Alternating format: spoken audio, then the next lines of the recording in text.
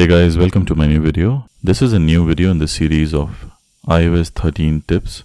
Also, you can click over here to see the videos in iOS 13 tips. Click over here to see the playlist for my earlier videos on iPhone tips, mainly like how to download free music or free ringtones on your iPhones, how to remove water from your iPhone by just an application, and there are many more tips in this series. So let's start the video but before I start, kindly subscribe to my channel and also hit the bell icon so you will get notified every time I post a new video.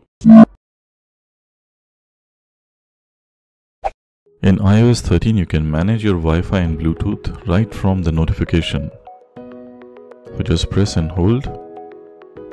When you press and hold the Wi-Fi, you will get the list of nearby Wi-Fi around your area. Not only that, you can also click on Wi-Fi settings to go and do the changes in your Wi-Fi. Now same thing is applicable to Bluetooth. When you click and hold the Bluetooth, it will give you the list of, I don't have any Bluetooth device here now. Also you can go to the Bluetooth settings right from here. As you can see, I don't have any nearby Bluetooth device. I have an Android watch which is switched off now, but you can control these settings right from the notification.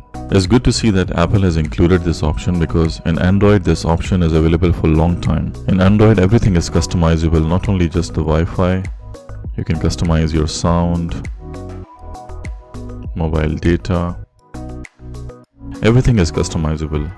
But for some reason Apple has ignored the cellular data option.